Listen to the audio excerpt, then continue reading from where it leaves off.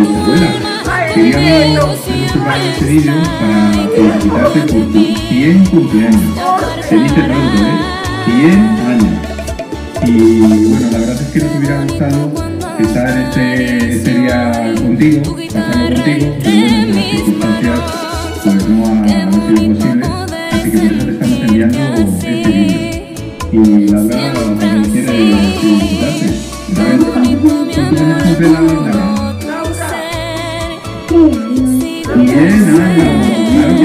que sí,